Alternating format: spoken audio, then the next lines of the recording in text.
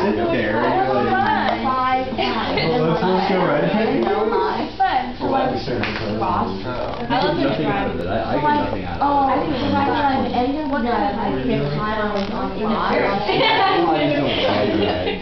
I'm not, you know, you know, I I haven't even been on a merry-go-round. Watch, now I want you to know something, right now, it makes it perfect, My head hurts so bad. okay?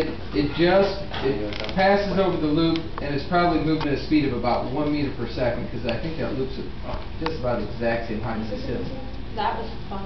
Hill number two here, actually, gravity is what we call a conservative force. It's not gonna change. If I take hill number two and make it really small, it doesn't change how I go through the loop. Okay? It'll change how fast I'm going over hill two. I'm gonna go much faster over it, but I'll still just barely go around that loop. It doesn't matter what path I take up and down.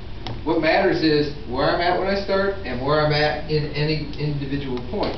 Here, I'm lower than I was, that means more of my energy is gonna be kinetic, so I'm going faster. If I raise this hill up and make it more potential energy, because now that's a taller hill, I'll go slower over that hill. But that doesn't change how much energy and how much speed I have over here. It's just this complete shifting between kinetic and potential energy.